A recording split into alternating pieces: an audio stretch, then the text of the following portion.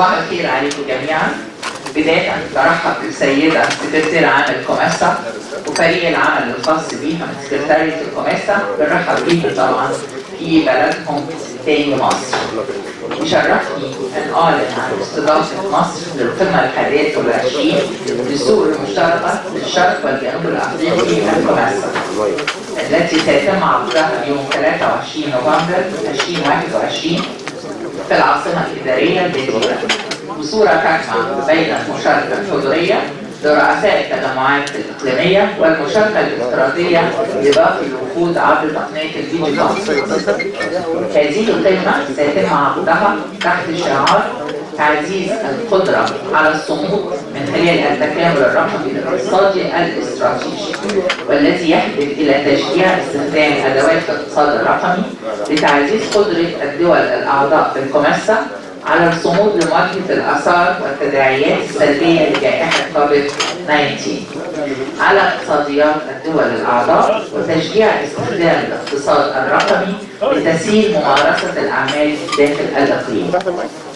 ستشهد القمة مراسم تسلم فخامة الرئيس عبد الفتاح السيسي رئاسة التجمع من السيد رئيس جمهورية مدغشقر وتعد هذه المرة الثانية التي تترأس فيها مصر هذا التجمع عقب رئاستها الأولى له خلال عام 2001-2002 عقب القمة السادسة.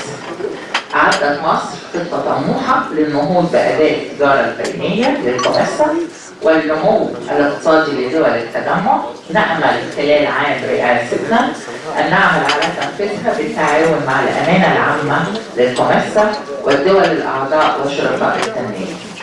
COMESA is, is to support our member states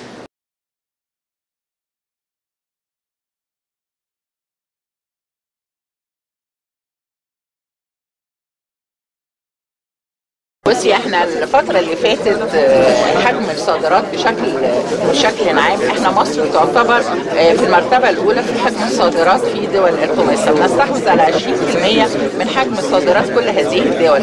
ولكن أكيد إحنا طموحنا أكبر من كده وده اللي أنا بتكلم عليه. وهيساعدنا في كده إن تولي فخامة الرئيس لرئاسة هذه القمة. هيخلينا نشتغل على خطة طموحة فعلا. آه، مش عايزة أقول بقى وأكون متفائلة لمضاعفة هذا الرقم بس بإذن الله إن شاء الله هنشتغل نشتغل عليه وخاصة إن إحنا معانا كل الدول الأعضاء آه، بينا معدلات في التجارة البينية سواء صادرات أو. شكرا